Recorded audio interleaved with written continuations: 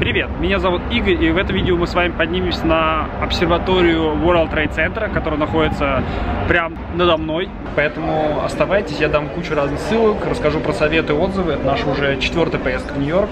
А я уже купил заранее билеты онлайн на Get Your Guide, ссылку я, кстати, оставлю внизу. Вот он так выглядит. Это далеко не первая поездка в Нью-Йорк наша, поэтому были на разных смотровых здесь э, с друзьями. Например, Empire, э, Rockefeller, The Edge.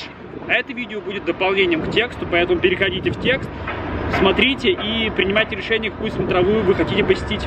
А мы с вами отправляемся на World Trade Center. Кстати, я прохожу рядом музей 911, точнее мемориал-музей, в котором мы тоже были. Билеты набрали на официальном сайте, тоже Get Your Guide, который продает билеты. Чтобы найти вход, нужно обойти рядом с музеем 911 здание и зайти сзади. А, видите, даже как интересно. Immediate entry, прямо сейчас, то есть получается 63 доллара. А чтобы, типа, по записи, типа, нужно купить, он 43 доллара стоит. И все равно дороже, чем купил я а, раньше онлайн. Просто сейчас просканировали билет на входе, вот здесь вот, и пустили внутрь. Даже не надо ничего распечатать, это очень удобно.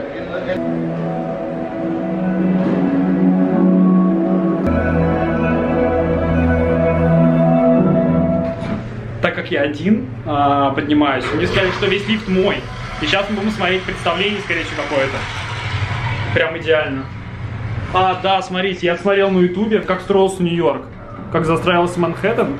Получается, вот постепенно мы поднимаемся наверх, и возникает город. Вот Бруклинский мост возник. Смотрите, здесь прям полностью 360 практически. Вот можно увидеть э, другую часть Манхэттена. Вот получается вид на Бруклинский мост.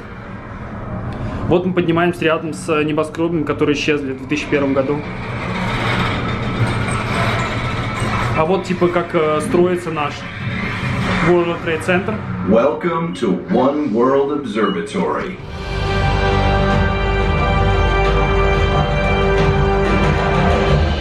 Выдают такие специальные штуки, типа полупланшеты, но они стоят 15 долларов, поэтому брать их нет смысла.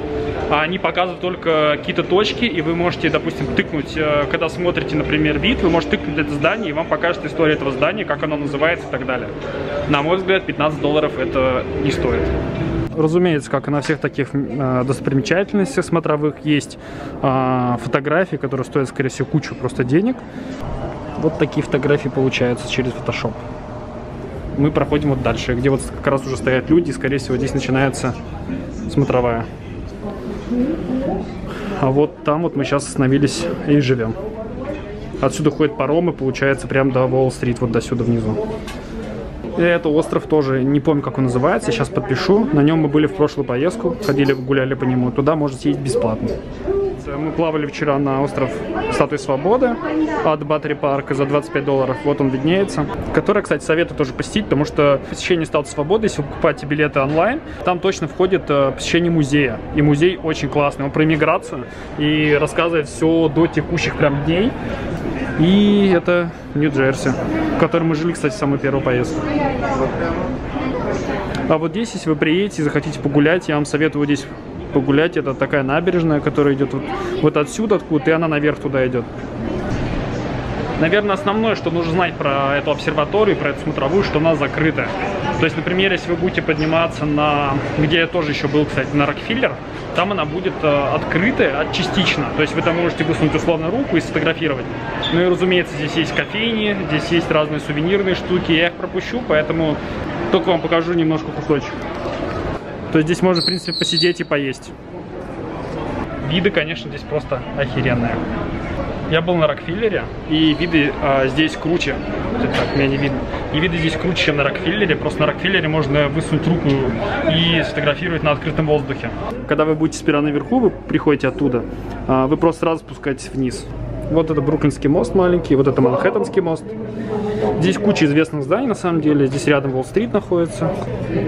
Мемориал 911. Вот это Oculus, который тоже советую посмотреть и сфотографировать. Кстати, смотровой можно понять, как сильно застроен Манхэттен и что вообще никаких мест свободных практически нет.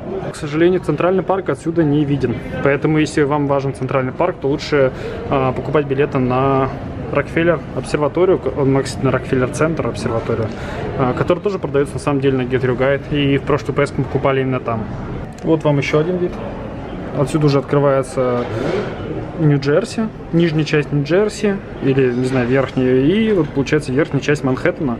И где-то вот там, вот за вот этими высокими зданиями, самые большими, это самые новые вот высокие здания, за ними находится Центральный парк.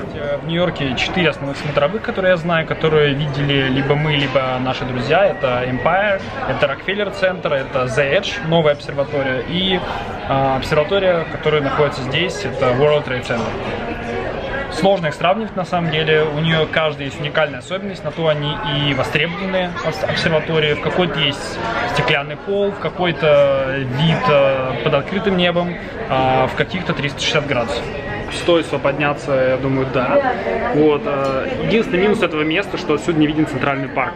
Но в отличие от Рокфеллера, откуда виден центральный парк, где я тоже был, э, здесь виден Нью-Йорк намного шире. Здесь обзор 360 градусов. С Рокфеллера обзор не такой. Все, на этом видео закончу. А, если вы, кстати, хотите сэкономить, то можно купить Нью-Йорк Сити Пас, который мы брали в первую поездку.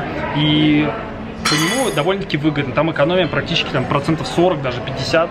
Даже паром до статуи свободы там тоже включен. Все, увидимся в следующих видео. Переходите в тексты, мы там опишем все гораздо подробнее, дадим кучу советов по Нью-Йорку. У нас уже такой текст один есть, скоро напишем второй. Все будет под видео. Пока. Итак, кстати, здесь есть типа стеклянный пол, но он полностью из экранов состоит и страха, что ты ходишь по настоящему стеклянному полу вообще нет.